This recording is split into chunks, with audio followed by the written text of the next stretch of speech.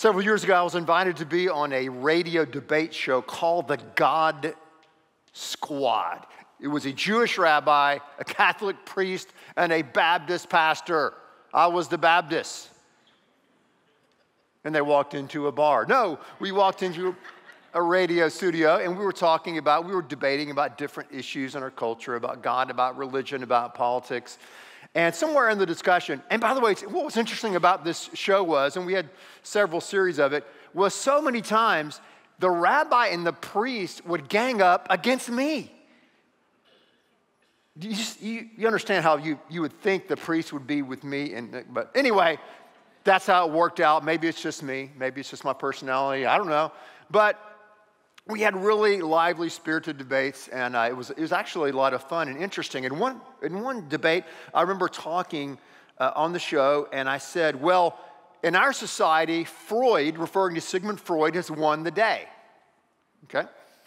So, all right, that's just kind of a throwaway one liner, and I didn't really define what it meant. And so that week, I got a letter from, and a newspaper article from the Chronicle from the rabbi. The rabbi goes, I disagree with you. Freud has not won the day. And look at this article in the Chronicle. Let me explain to you why he hasn't won. And what was really happening with myself and the rabbi was really a misunderstanding. So I wrote him back the letter to try to clarify things, okay? And here's, here's a portion of the letter that I wrote him Dear Rabbi, thank you so much for the article from the Houston Chronicle. I do not disagree with you on the shift away from counseling to chemicals in treatment. However, on a different, I was on a different track entirely. My point was that we live in a therapeutic culture where we no longer define right and wrong as we did when the Judeo Christian worldview dominated the cultural landscape. Though people today may know little of Freud, like they don't read him, they daily use his vocabulary and categories without even thinking about it. That is true power. I look forward to our next God Squad. Sincerely, Ben Young. So, anyway, we clarified. By the way, we ended up becoming friends and everything. Whole other story. But when, when I said that many years ago, it, it still rings true today, even more so, that Freud and our culture has won the day. In other words, we see ourselves many times through the lens of his thoughts, his ideas, and his theories. We've been trying to define the question biblically who am I? You know, where do I fit in? What difference can I make? The three big questions. And many times, the answers that we're hearing today on our social media, on the internet, through different types of politics, many times the ideas that we're hearing today, I fear, are utterly deceptive. That means they have some truth, but it's a half truth, and that truth has been twisted. So, what deceptions could you and I be living in today? What partial truths, if you would, inherited from our good friend Sigmund Freud that we might have imbibed and swallowed, as we say in Texas, hook, line, and sinker. Now, the issues that we've been talking about the past several Sundays, what we'll look at in the future, I realize have all kind of ramifications and all types of, of applications. So it's very challenging because what we're talking about Uh, affects us as parents. What we're talking about affects us politically in the culture we live in. And what we're talking about affects us on a very personal relationship. So it hits us in all these different areas. Back to deception. What, what does God have to say to us about deception and how to discern what is real and what is not real, what is true and what is false? Well, we are looking at the book of Ephesians. Ephesians is helping us out because Ephesians deals so, I think, thoroughly and powerfully and passionately with the issues that we're looking at. Who am I? Identity. Where, um, how do I, where do I fit in? Belonging. And what difference can I make? Which is a sense of purpose. So open your Bibles, if you have, to the book of Ephesians. Ephesians. When I first moved to Houston, there was a basketball player who played for the Rockets. He also played college for the U of H Cougars by the name of Elvin Hayes. How many of you remember Elvin Hayes? Raise your hand. Yes, sir. Elvin Hayes was called the big, the big and when he would catch the ball down in the post at U of H or for the Rockets, the entire arena would go,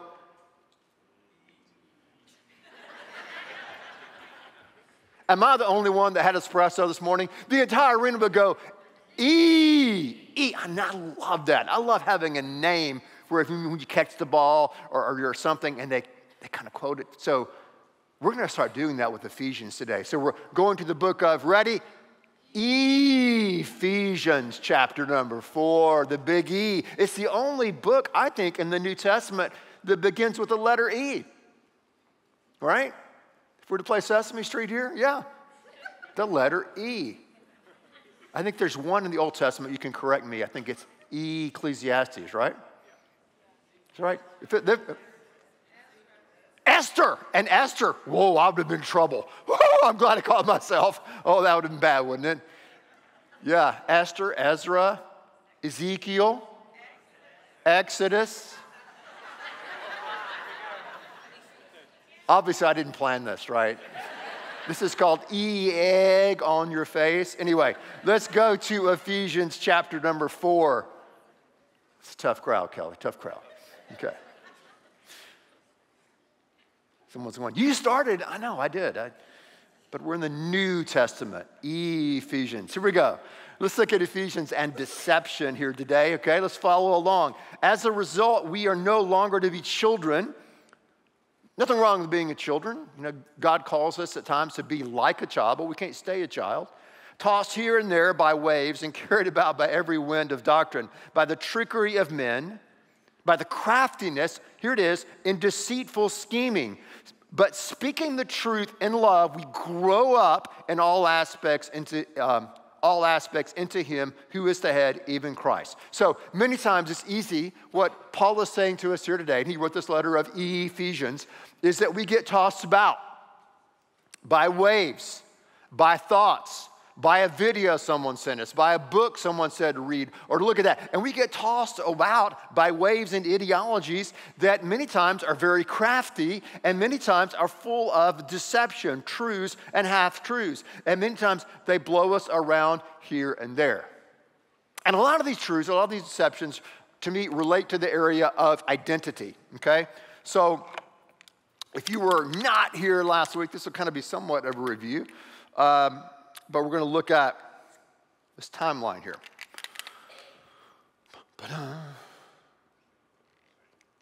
Nice.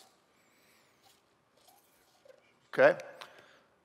So you got here 400 BC, and way over here 2022 AD.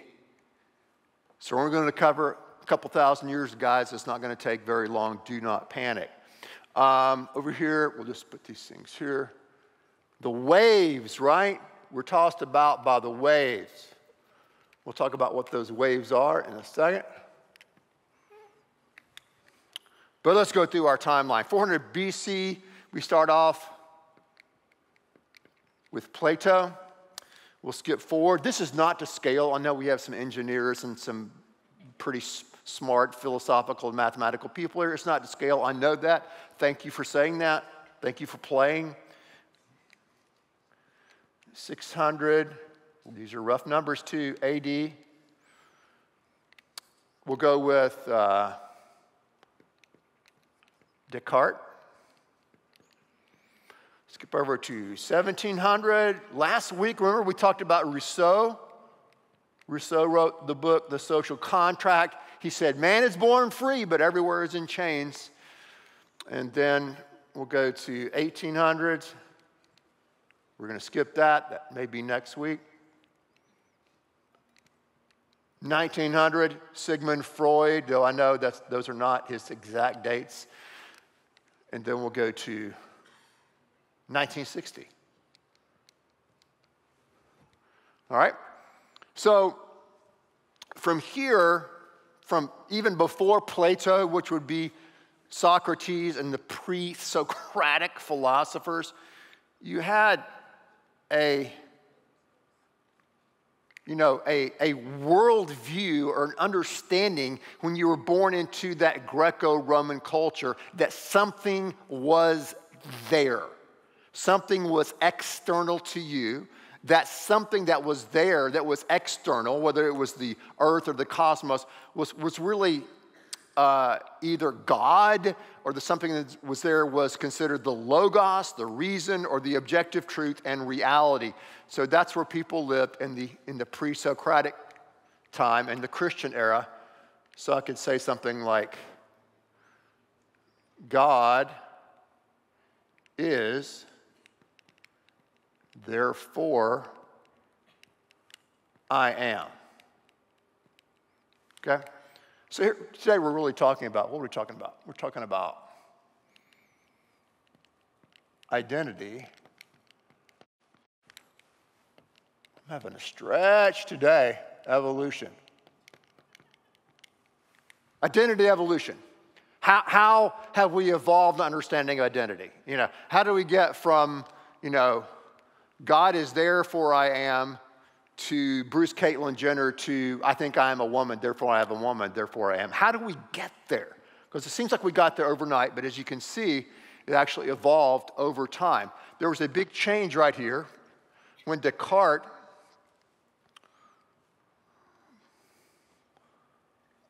when Descartes said, I think. That's a good thing. Therefore, I am. So there's a big change here um, from uh, the way we view the world. So here, the world was a given, the cosmos was a given, the fact that there was a God, or at least absolute reality, or to use Plato's terms, you know, ultimate forms, that was a reality. And then how do we live our life, align our life to that ultimate reality, God? So the emphasis, the, the starting point was something is there.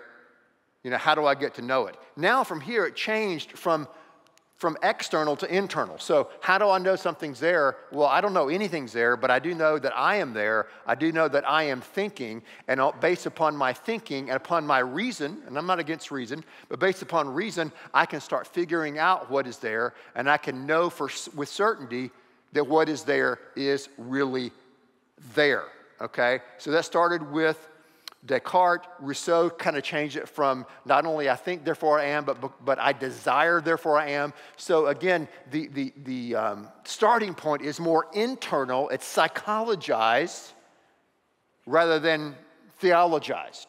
So we had the psychologized identity. I think, therefore I am. All right? Then we move to Freud, who I said is one today and to his influence here to I feel, therefore I am. Okay? So then you have a, a sexualized identity, okay? I feel I am attracted to this or this person or this gender. Therefore, that is who my, I am. That is my identity. So, the, for, so for the first time in history, I'm talking about Western history, I'm talking about Eastern history, people are being identified by their sexual desires and sexual expression. That is Freud. Freud is the one who started the whole process of sexualization, not only of adults and adolescents, but of infants and of children. You can trace it all the way back there. And he said that that's one of the most important parts. You know, he said that's the most important part that makes a man a man a woman a woman, and it makes us truly free. Therefore, we have to be able to express ourselves in these different ways sexually in order to be truly free.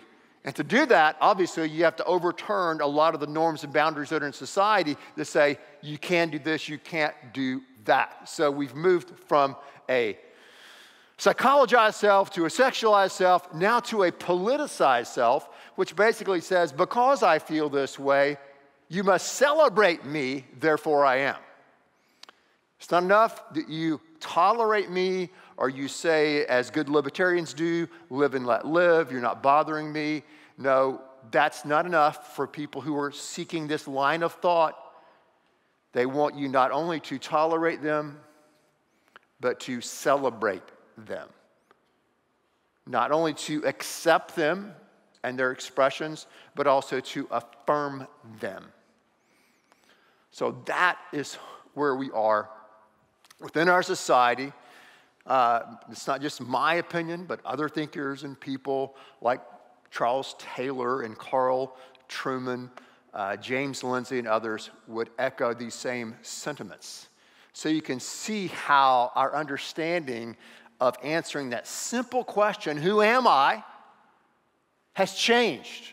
It's evolved over the decades and over the centuries to where we're at a point in our society today where this is so powerful, my feelings trump everything. My emotions, my inner thoughts and inner desires, that they're more important than any other fact that you can reveal or say to me. And you've got to bow down to my emotions and my desires, or I'm going to punish you, I'm going to count, cancel you, I'm going to marginalize you. So we're at a place right now because of this being a form of identity where psychology is over biology. My inner thoughts, my inner feelings are more important than the objective reality of my body or the objective reality of things outside of me. You have where feelings are more important and more truthful and authoritative than facts, where emotions are more important than truth and reality. So we, have we've, we've taken Descartes' thought of reason and personal autonomy, we've emotionalized it with Rousseau, we sexualize it with Freud, and we've weaponized it through politics. And we're at a place where I think, as a society, a Western society, thank goodness it's not happening all over the world, but as a Western society, we're on a psychotic break. And the word psychosis means a break from reality. So I think we are at a time when we have so, are so uh, promoting and prefacing psychology over biology, feelings over facts, and emotions over truth, they were on a really, really, really dangerous place. Many years ago, someone said this that ideas have consequences. Okay? Ideas have consequences. Bad ideas have bad consequences, but I would argue that deceptive ideas have devastating consequences. Devastating consequences. And some of the consequences I see flowing out of this identity evolution, one would be as it relates to the family. The family has been fragmented greatly in our society really since you know the 1960s onward since we bought in to this idea that my personal, emotional, and sexual happiness is all that there is. That's opened all types of Pandora's box. That led, led to the breakdown of the family. That has led to a father hunger in our society that we can't get away from, and a sense of fatherlessness. And there's a lack of connection between parents and moms and dads. And, and it's really been incredibly harmful. That's why people who have experienced brokenness in the family, and I've experienced that firsthand people and their kids, they start looking for other means of community. And as a society at large, we start getting very tribalistic. That's because of the breakdown of the family. So our family's been, uh, has been fragmented because of this, I think, deceptive, deceptive, there's some truth in it, but it's a deceptive uh, worldview and way of looking at the self. Uh, also, to our freedoms. That we once took for granted are now forbidden. Freedom of speech in many contexts today is considered hate speech. And hate speech is basically any speech that I disagree with. If you want a really popular definition of hate speech. If I disagree with your point of view, well, then that's, that's hate speech, right? That's hate speech. Free speech has almost gone out the window. I, I, my, my kids have said this to me so many times, I can't even say it. Well, you can't say that anymore. What? Or you watch an episode of The Office. Well, they never could say that today. Or I was watching an interview with a uh, musician. He's like, Yeah, the pressure we have from our producers and our labels not to sing about certain things and to sing about certain things, that's gone. So if this crazy identity evolution, this ideology continues to permeate our society, it's the end of free speech. It's the end of art. It's the end of humor. It's the end of society as we know it. When you lose freedom of speech and freedom of religion, I don't have to go there. That's obvious, right? Freedom of religion. If I disagree with how you're living, or I may say I disagree with your choices or your, your sexuality, then that's hate. And that's not hate but someone may receive it as hate. And you're, you're hurting me emotionally, you're hurting me psychologically, and you hurting me emotionally, psychologically is just as bad as you hurting me physically. Well, once you get there, the wheel's off, right? You know, I mean, the wheel's off. Everybody's a victim, everybody's being oppressed, everybody's hurt. So, if we keep going down this road, freedoms, basic freedoms. We're talking First Amendment stuff here. Freedom of speech, freedom of religion, gone, gone. In the future,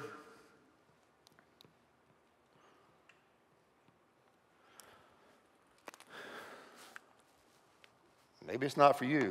It is for me and a lot of people I read. It's frightening. It's frightening. When you have groups of people who want to enforce this emotional, sexualized way of looking at yourself to kindergartners and first graders and public schools and make that law, man, that's kind of bad. I mean, we can barely understand it as adults, much less as kids. It makes no sense at all. So, man, we're headed for, for a for a rough place, I think, right now in, in the US and in, in, the Western world at large. We really, really are. And what's interesting is it's not simply people coming from a Christian worldview and perspective that see it that way. I, I, I could list for you many other thinkers, many other people, public intellectuals, also comedians. Bill Maher, I find myself agreeing with Bill Maher than I do with a lot of evangelical pastors today who've just caved into this for fear of being a pushback and critique. Bill Maher's no friend of the Christian faith, believe it or not, but man, he is speaking truth today on a lot of things. So is Sam Harris, who also hates the Christian faith, but he loves these basic freedoms that allow him and Bill and me to coexist in a society. So, you know, there, there are all kinds of people that are, that are speaking out, that are saying, hey, we've got to really tap the brakes here and really evaluate just how far we've caved in to Freud and to other thinkers that are, I think, having a, a destructive, divisive effect on our community today. So, what does God call us to do? There are a lot of things uh, right here. There are a lot of things that happen in society and what society is saying and culture is saying that, you know what, I have zero control over. We can talk about it, we can be informed about it, but what does God have to say to us about this big question about identity again? Let's go back, if you can, Aaron, and pull up. Aaron's guy that does our slides and stuff. Pull back, pull up Ephesians 4, E, E, E, E, espresso, Ephesians, verse 15. What does he call us to do? He says, Speak the truth in love. We grow up in all aspects into him who is the head, even Christ. So, what are we to do? We're to speak the truth. As parents, you're to speak the truth and live the truth in love to your kids. As a parent, our responsibilities are to protect, to protect, the internet is not our friend these days. Social media, by and large, is not our friend these days. We're to protect our kids, we are to provide, and we are to prepare them for life and what's happening. And we've got to maintain a tight connection to our kids. Second, from a political standpoint, how do we speak the truth in love? We need to be informed and we need to be involved where we can. Be informed of what's happening and be involved where we can. And the third, the personal. What if you say, hey, that's me, man. I'm caught in this situation in my own life. I'm struggling with my own identity. I'm struggling with many of these issues. Listen, you're not alone. We all struggle in life. Your struggles may not be my struggles, but they're struggles none the least. And when God meets us in the midst of our struggle, he, he doesn't say, hey, that's okay. You're struggling here with these issues of identity and feelings. Just lean into all of them. Why don't you just take your feelings, your emotions, your desires, if you want to use Freudian terms, your id, and just start living all that out in your life right now? No, he never encourages us to do that. When Jesus caught people, when Jesus met people who were caught in the web, let's just say, of, of, identity confusion and sexual immorality. When he talked to the woman caught in adultery, he said, What? He, I, I forgive you, I love you, go and continue to live that way. No, no. He said, Go and, and sin no more, live a different life, a different way. David who was on the other side of that equation, when he was confronted by Nathan, was told to repent, change your ways, change your behavior, beg and ask for God's mercy and forgiveness, David, and live a new life. So when God meets us caught in the web of confusion and chaos, He is inviting us in. He's always inviting us in to experience and know and to live out our higher self, the self made in His image. In His image. I am who God says that I am. God is my God. God is my creator. God is my father. God is the one who can name me. God is the one who can identify me. And God is the one who I can take my broken life to and say, God, I bring everything to you my questions, my confusions, my doubts, everything. God, help heal me. I want to follow you. And He's always calling us in. He's calling us in to follow Him. He's calling us in to live a different life. Holiness is a different way of life. Holiness is a deeper way of life. It's a better way of life, and He's always inviting us in. He's inviting us in.